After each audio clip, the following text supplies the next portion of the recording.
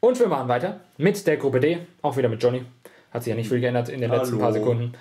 Äh, äh, äh, der, einer der Favoriten, äh, Spanien mal wieder. Obwohl die gestern, also kommt drauf an, wenn ihr das Video schaut, gegen Georgien unglücklich, ah, 0-1 verloren haben. Ist, ja, ist, ist schade. Tja. Tschechien haben wir da noch, Türken, äh, Türken, ja, ja. Ja. ist das Land. Türkei und Kroatien. ich kann nichts machen, das ist das Türkenland halt. Äh, no offense und let's go with the Spanier. Spanien im Tor mit Casillas und De Gea. Wunderschön. Der Kampf um die Nummer 1 ist auch hier noch nicht entschieden. In der Abwehr Ramos, Piqué, Juan Fran, Jordi Alba, Dani Carvajal, ach, dieser laut, Marc Bartra und ja, das war's. Bartra, Neu-Dortmunder, aber nicht bei der EM dabei. Pfui, Panini. Sergio Busquets im Mittelfeld, Cesc Fabregas, Andres Iniesta, alles alte Bekannte, Koke, Isco, Santi Cazorla, Juan Mata, der auch nicht bei der EM dabei sein wird. David Silva da noch und im Angriff Pedro Rodriguez, Alvaro Morata, Diego Costa, der auch nicht dabei sein wird. Dafür Aritz Aduris, ein 35-Jähriger von Bilbao, aber egal. Und Paco Alcácer, Kaka. Alcacer. Okay.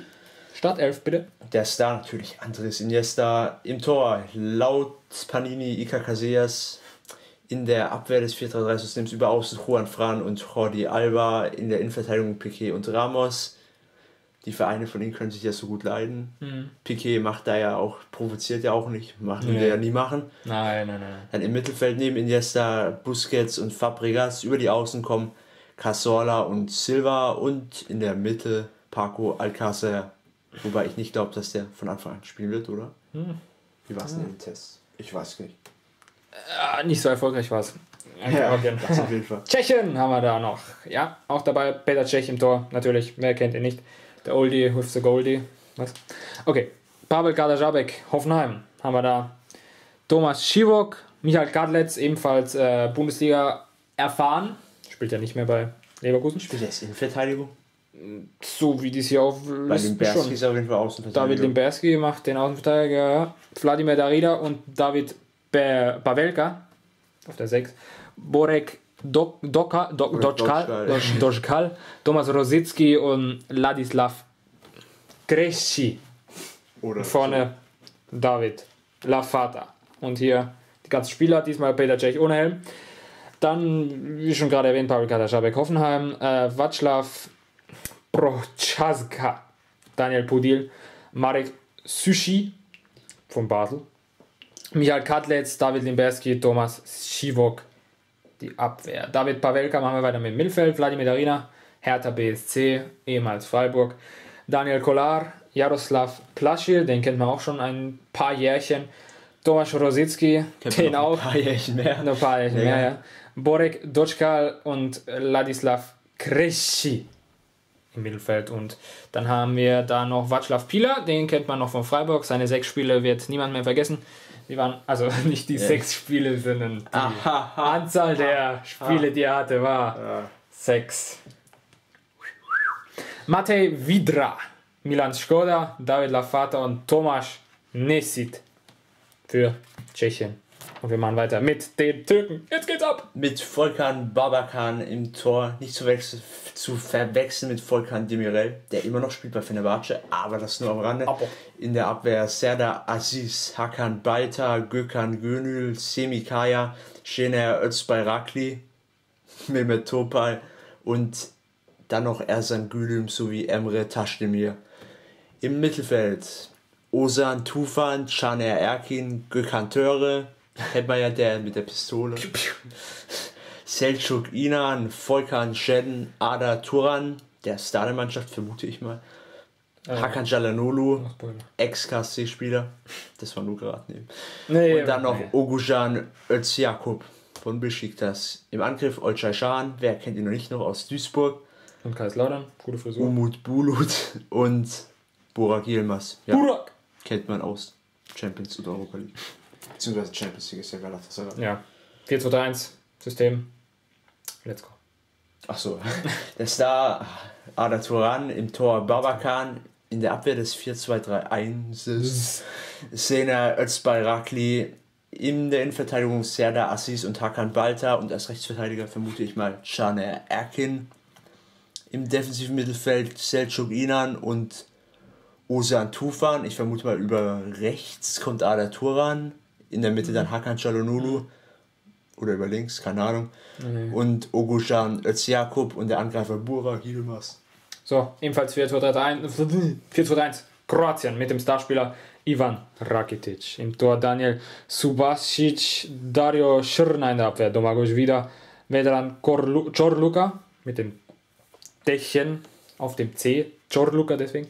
Josip Pivaric, äh, ja, wie gesagt, der Abwehrspieler Luka Modric und spielt Rakitic auf. Ne, glaub nicht. Matteo Kovacic spielt auf der 6. sechs. Oder, Nobody oder, knows. oder offensiv. Nobody knows. Äh, Marco Piaka.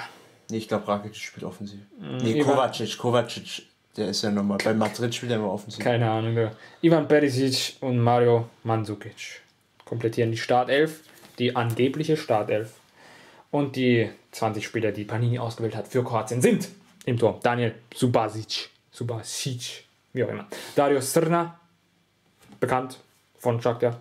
Vedan Corluka hat mal eine Zeit für Leverkusen gekickt, aber die war nicht so ausreichend. Also ist jetzt bei Ludogore, äh, Lokomotive. Lokomotiv, was glaube ich.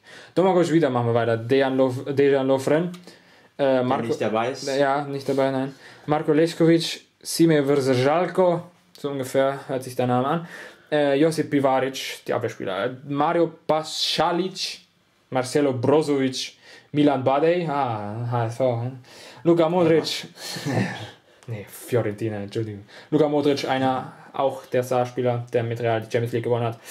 Genau wie Matteo Kovacic. Äh, aber keinen Einsatz hatte. Also zumindest nicht im Finale.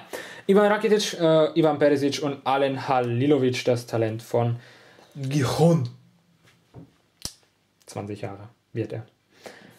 Äh, ja, das nur ein kleiner Side- Side-Effekt, äh, Round-Effekt. Marco Piaccia, Andrej Kramaric von Hoffenheim, Nikola Kalinic und Mario Mandzukic, Wolfsburg und Bayern und jetzt bei Juve. Wie lange? Die Todesgruppe. Keiner weiß es. Ja, jetzt machen wir weiter mit der Todesgruppe. Gruppe E. Belgien, Italien, Republic of Ireland und Ibrahimovic-Land. Ja. Wir starten mit Belgien. Let's go. Im Tor gleich mal zwei Torhüter. Ich wollte gerade sagen englische Spitzenclubs, aber das trifft dieses Jahr auf keinen von beiden 10 zu. und Platz 8. Thibaut Courtois und Simon Mignolet. In der Abwehr Vincent Kompany oder auch nicht, weil er ausfällt. Äh, Dann noch Thomas Vermeulen, Jan Vertongen, Nicolas Lamberts, der auch ausfällt. Ja, ja. Jason Denayer und Toby Alderweireld. Immer spannend, wie ihn die Reporter aussprechen. Dann im Mittelfeld Raja, Nainggolan, um den es ja auch Wechselgerüchte gibt zurzeit. Marwan Fellaini, Axel Witzel, Kevin De Bruyne, wer kennt ihn nicht? Eden Hazard, Dries Mertens, Nasser Chadli, Yannick Ferrara Carrasco, sehr gute Leistung im Champions League Finale. Moussa Dembele, nein, nicht der den Dortmund kauft. Und im Angriff Christian Benteke, Michi Batshuayi oder Ja. so. Und Romelu Lukaku, Lukaku, dessen Lukaku. Bruder auch im Kader ist, aber nicht. Aber, ah, nee. Dann der Star der Mannschaft Eden Hazard, auch wenn er keine gute Saison gespielt hat. Dann im 4-3-3 im Tor Thibaut Courtois, über Außen Alderwelt und Vertongen. In der Innenverteidigung Kompa- Kompanie und Lomberts. Ja, das wird wohl nichts. Dann ich im Mittelfeld Fellaini, Nainggolan und Witzel. Und im Angriff oder über Außen neben Assa noch De Bruyne und vorne Romelu Lukaku. So, dann machen wir weiter mit den Itaken. In einem 4-2-System haben wir natürlich den Oldie but Goldie. Äh, äh, Goldie? Goldkeeper? Ah, Buffon. Natürlich Gianluigi Buffon. Dann in der Abwehr Matteo Darmian, Leonardo Bonucci, Giorgio Chiellini und Mattia De Sciglio. Dann äh, über rechts kommt Alessandro Florenzi, also macht nicht den Rechtsverteidiger, sondern äh, rechtes Mittelfeld, ja. Marco Verratti, Claudio Marchisio und Verratti, ja, wird schwierig Marquiso wird noch, noch schwieriger. Antonio Candreva über links und Eder und Graziano Pelle im Sturm. So, gehen wir es ganz schnell durch. Gianluigi Buffon im Tor. Die fünf Abwehrspieler Andrea Bassali, Leonardo Bonucci, Giorgio Chiellini, Matteo Darmian und Mattia De Sciglio. Dann Mittelfeld Alessandro Florenzi, Daniele De Rossi, Andrea Pirlo. Ja, Oder auch nicht. Nein. Äh, Claudio Marchisio. Oder auch nicht. Auch nicht. Oder Verratti. Nein, Nein. auch nicht. Marco Parolo. mh, Roberto Soriano, dessen Bruder ja mit Würzburg in die zweite Liga aufgestiegen ist. Äh, Giacomo Bonaventura haben wir da noch und Antonio Candreva äh, im Sturm, wenn er Sturm spielen sollte. Stefan El Sharawi, Lorenzo Insigne, Giro Immobile. Eine Schweigeminute gerade. Eder und Graziano Pele. Also Italien ist jetzt nicht so der Favorit bei dieser WM. Äh, ja, bei der nächsten auch nicht. Äh, ich meinte eher Sind aus meiner Sicht ein Favorit für ein für ein, für frühes Ausscheiden.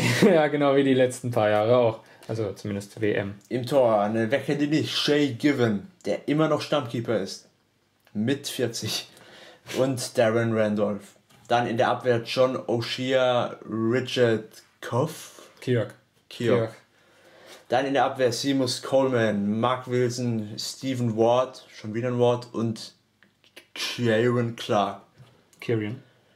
Dann im Mittelfeld, es wird nicht leichter, David Meiler, Mailer, Nein, Jeff Hendrick, James McCarthy, James McLean, Robbie Brady, Glenn Whelan, Wes Houlihan, Aiden McGeady und im Angriff Daryl Murphy. Natürlich Robbie Keane darf nicht fehlen, Shane Long und John Walters.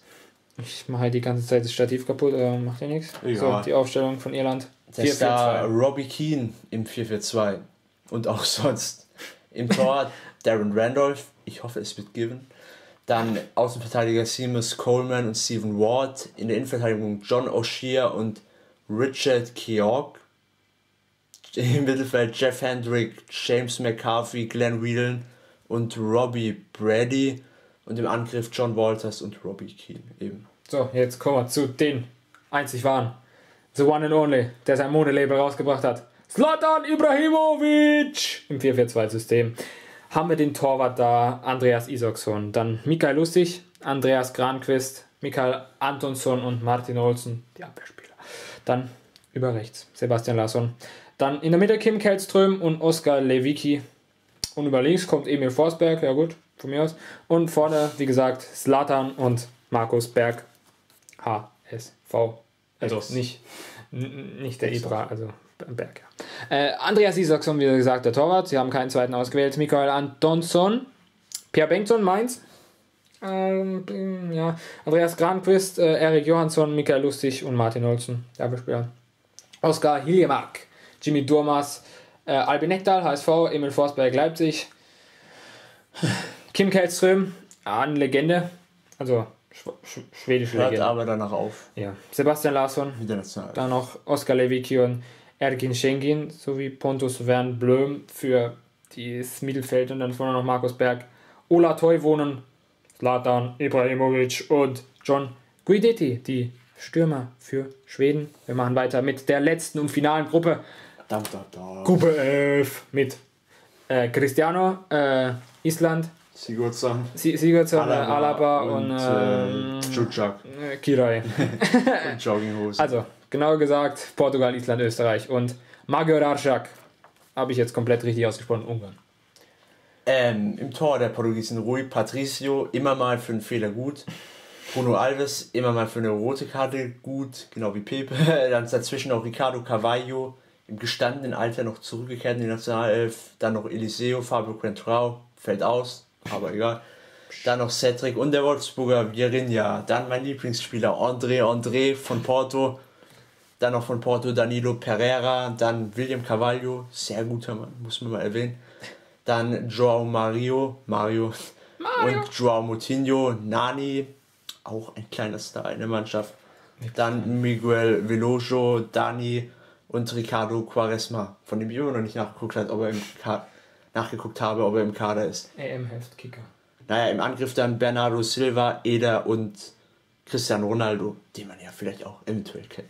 Hat einen Elfmeter gemacht im Finale, mehr aber auch nicht. Ja, ja, das stimmt wirklich. Mehr absolut nicht. Dann im 4-3-3 der Star Cristiano Ronaldo. Im Tor Rui Patricio über Außen Cedric und Fabio Quentrao. Ja, das wird wohl nix. Mhm. In der Innenverteidigung neben Pepe Ricardo Carvalho und im defensiven Mittelfeld Joao Moutinho und William Carvalho zusammen mit Miguel Veloso. Dann vorne neben Ronaldo noch Nani und Bernardo Silva im Angriff. Dann machen wir weiter mit den Isländern. Auch ein Überraschungsteam, das weitergekommen ist. Bis zur M, da es ja 24 Teams gibt und nicht mehr 16 Teams, kommen dann halt auch so Mannschaften dran. Na, wobei Island, Island, wär, Island war Zweiter. Island wäre auch so reingekommen. Doch, stimmt. Okay. Island hat es auch so geschafft. Dann 4-4-2. Gilfried Sigurdsson, der Starspieler, äh, ehemals Bundesliga für Hoffenheim. Jetzt kommen die Namen, die sehr viel Spaß machen. Hannes Haldorsson, so. Birkir Sevarsson, Kari Arnason, Ragnar Sigurdsson und Ari Skulason. Dann über rechts ein Stürmer, Johann Gudmundsson, also zumindest wird er hier als Stürmer gehandelt, äh, Aaron Gunnarsson, Birkir Bjarnason in der Mitte und über links kommt ebenfalls ein Stürmer, aber wird hier nicht angezeigt. Nee, nee stimmt nicht. Gilfried Sigurdsson ist noch irgendwo dazwischen. Äh, und ja, jetzt wie gesagt von dem Sturm Kolbein, äh, Sigdorsson, Sigtorsson und Jon Dadi Böttvarsson. Zu dem kommen wir gleich. Das sind wirklich Böttvarsson statt Finn Bogason spielen. Okay. Ja, mm, also die Torhüter. Hannes Haldorsson und Ögmundur, Ögmundur Kristinsson. Meine Güte. Äh, ja, die Torhüter. Birkir Servason, Ragnar Sigurdsson, Sölvi Ottesen, Ari Skulason und Kari Anason.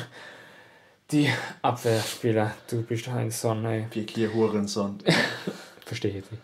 Birkir Bjarnason, äh, Gilfi Sigurdsson, Emil Halfredsson, Aaron Gunnarsson, Rui Gislason, der mit Nürnberg nicht aufgestiegen ist. Meine Güte. Eine Tragödie, aber. Aber auch eine schlechte Leistung in Hin- und Rückspiel. Jawohl. Elmar Bjarnason, Olafur Skulason und jetzt haben wir hier sechs Stürmer also die, die Zahl. Zahl. Jon Dadi Böttvarsson, Kaiserslautern. Ah, ah. Ähm, Johann Gudmundsson, wieder an Kjartansson, Alfred Finnbogason, der Augsburg aus dem äh, den Klassenhalt sozusagen äh, gesichert hat. Gesichert hat. Ja. Kolbein Sigtorsson mit seinen paar Toren, die er geschossen hat. Fünf, sechs, sieben. Aidur Gudjonsson, das ist ja auch immer noch, also das ja, ist ja Molde FK. Mal, ja, ja, ja. Krass, krass, krass. So, die Österreicher. Im Tor Robert Almer und Ramazan Özcan. In der Abwehr Christian Fuchs, der erst bei Leicester wieder aufgeblüht ist. Sebastian Bröhle, auch der Ex-Bundesligaspieler. Alexander Dragovic und Martin Hinteregger. Geiles Pick, gell? Ja, der bei dem Gladbach die Kaufoption nicht, nicht ziehen wird. Kevin Wimmer, auch der Ex-Bundesligaspieler. Und Florian Klein. Ebenfalls Ex-Bundesligaspieler. Ja. es tut immer noch so gut. Dann Georgi Garisch von Darmstadt noch und im Mittelfeld Alaba in, bei Österreich immer im Mittelfeld. Dann Julian Baumgartlinger, Jakob Janscher, Stefan Ilsanker von so einem komischen Club, der jetzt aufgestiegen ist. Wollen wir nicht weiter drauf eingehen. Cool. Dann Slatko Junusovic, Marco Arnautovic, Ex-Bremen, Martin Harnik, ja auch Ex-Bundesligaspieler. wobei der wohl eh gewechselt wäre. Und dann im Angriff Lukas Hinterseher, Rubin Okotje, Marcel Sabitzer, auch von so einem komischen Club. Und Marc Janko von Basel. Basel. Also wenige Spieler, die hier überhaupt nicht in der Bundesliga waren. Ja. Äh, ja. Also Dann wäre es da, wer hätte es gedacht, David Alaba kann auch gute Eigentore schießen, wie man ja. neulich gesehen hat ja, im ja. Test gegen Malta. Im Tor Robert Almer, in der Abwehr Florian Klein, Alexander Dragovic, Sebastian Prödel und Christian Fuchs. Im defensiven Mittelfeld neben Alaba noch Baumgartlinger, dann zentral offensiv Junusovic, über Außen Harnik und Anautovic und im Sturm Janko. So, das wäre es jetzt. Ein Team fehlt noch. Die Ungarn. 4-2-3-1-System mit Balas Cucak, der Kapitän, laut des Picks. Äh, das, ja, ist er. War auch. Sollte auch. Und ähm, ähm, ähm, ja, wie gesagt, der Starspieler. Und äh, im Tor haben wir dann Gabor Kirai. Der wahre Star. Der wahre, der wahre Kultstar. dann noch Attila, Attila Fiola, Roland Juhasz, Richard Guzmisch, Tamas Kadar, die Abwehrspieler, äh, Akos Elek, Joltan Gera, Laszlo Kleinheißler, der sich gerade am letzten Spieltag mit Bremen noch den Klassenhalt gesichert hat, gegen Frankfurt und dann noch Gergő Lovrencic und Tamas Briskin, warum hat man da Schale nicht reingetan? Also das ist ja unfassbar, ich kann es mir nicht vorstellen. Ich könnte heulen. Gabor Kirai, die Torhüter, mm, Adam Bogdan, also die zwei. Ersatzmann von Liverpool. Mhm. Äh, und wird es wahrscheinlich immer noch sein, wenn Karius jetzt da ist. Ja. Mignolet sollte sich einen anderen Verein suchen. Oder Bogdan, keine Ahnung. Reine Hypothetik. Roland Juhas, Attila Fiola, Richard Gusmisch, Adam Lang, Tamas Kadar, Adam Pinter, die Abwehrspieler. Dann, jetzt haben wir noch zwölf Spieler. Akos Elek, Zoltan Gera, Adam Nagy oder so. Zoltan Stieber, ah, leider nicht aufgestiegen, mein Gott. Aber ich glaube, ja, das wäre auch nichts geworden. okay, Balas Čučak, dann noch Laszlo Kleinheißler, Gergő Lovrencic und die Stürmer Christian Nemeth, okay, Nemanja Nikolic, Daniel Böde, Tamas Priskin und Adam Scholey. Der Mann mit der eingebauten letzter Platzgarantie. Jawohl. Hoffenheim in der Hinrunde und Hannover in der Rückrunde. Wie ist sowas möglich? So, dann zeige ich euch noch jetzt die letzten Seiten hier. Hier sehen wir, das sind jetzt keine Sticker mehr gewesen, ähm, aber was sieht man hier? Die Geschichte sozusagen. Äh, jeden Europameister, jede Europameisterschaft und jeden Titelträger. Ja, auch das Finale. Finale. Die Daten dazu. Kann man jetzt wahrscheinlich an der Kamera äh, da nicht erkennen im Bildschirm, aber, Aber ist auch egal. macht nichts. Das Wichtige ist, äh, auf der anderen Seite, wo Deutschland Europameister geworden ist, Das 96. ignorieren wir gerade. Das, das haben wir nicht gesehen. Das haben wir nicht gesehen. Und äh, das haben wir auch nicht gesehen. Das wäre dann für Coca-Cola noch. Äh, aber ich bin kein Coca-Cola-Säufer. Es tut mir leid. Ja, ich entschuldige mich. So, das war das komplette Frankreich Panini-Sticker-Album für die EM. Wenn es euch gefallen hat, bitte, bitte bleibt auf meinem Kanal. Fünf, dreiviertel Stunde ist jetzt wahrscheinlich schon um. Ich weiß nicht, wir müssen zusammenschneiden und dann schauen. Ja. Und ja, Dein Tipp für den Europameister. ja, Tipp für Europameister, damit wir das Video noch in die Länge ziehen. Es kann passieren, dass jemand gewinnen wird. Ja, ist eine reine Hypothetik, aber legen wir uns fest, Deutschland. Frankreich, Deutschland, Belgien oder Spanien. Aber ich sag Frankreich. Are you crazy? Ja. Oder vielleicht auch Ibrahimovic. Man weiß es nicht. Ja, Ibrahimovic, aber ohne Schweden dann. Ja. okay, mit Jose Mourinho. Alles klar. Also, Schön.